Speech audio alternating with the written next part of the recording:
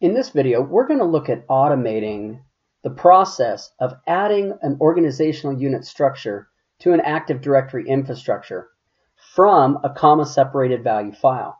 We're going to use the commandlet new-ad organizational unit that is part of the Active Directory for PowerShell module.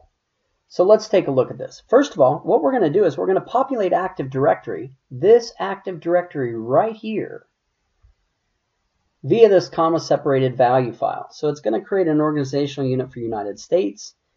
It is going to then nest an organizational unit called California inside United States, one called Sacramento inside California inside United States, one for North Sacramento inside Sacramento inside California inside United States, and then turn around and do it again for the state of Oregon. Now, to automate this process, I've created a PowerShell script. Now I can't create, take full credit for this PowerShell script. I found a bunch of scripts and I was able to take the best of each and create this script. Now what I've done is change some variable names that I hope make it easier to understand. Basically, the script goes ahead and gets the content from that CSV file we just looked at called oustructure.demo, populates it into an object. We create some variables called domain name, org unit path, and org units. Org units takes the CSV, creates a reverse array so that it can pull the last part of each line before our delimiter here, our backslash, to create the name and then use the whole thing to create the path. Now, when I'm writing scripts like this, and I'm fairly new to this, I find one of the great things to do is before actually running the command and troubleshooting the command, I like to put echo statements in my script to see what is being produced. So here what I've done is I've echoed back each time, each iteration, the organizational unit path and then the new org unit name. So let me come over here and I've purposely put this down at the bottom of my PowerShell window so that I can run the script and we can compare. So here I've ran that script. So what I'm echoing out the first thing is going to be the org unit path for our first organizational unit, and that is going to be dccorpmiim.com, and its organizational unit title will be United States. So we're putting this at the root. It's not till the second one, notice down here, that we create a nested OU called California.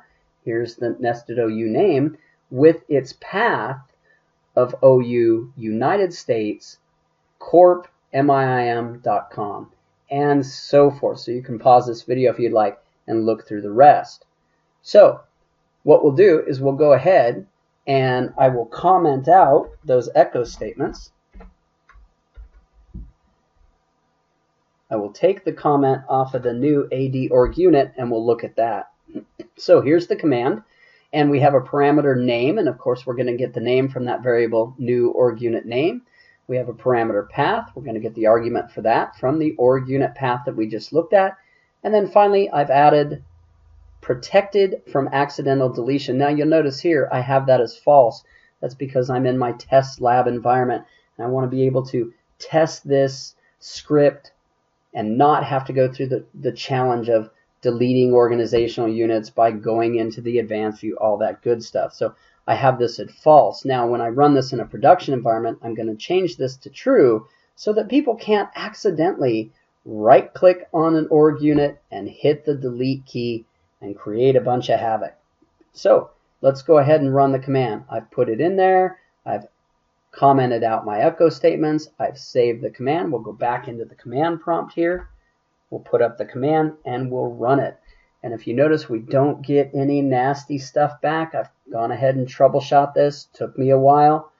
But let's go up to Active Directory and see what happens. We'll do an F5 and refresh our Active Directory. And we have a United States OU. Inside that United States OU, we have California. We have Oregon. We'll go ahead and expand all of this. And we'll see that all of our organizational unit structure has been created with one PowerShell script. So I hope this helps you write great PowerShell. I'm still learning what an awesome tool to, to make sure that you know how to do It's going to save you a ton of time as you manage your Active Directory infrastructure and frankly your Windows network altogether. Take care.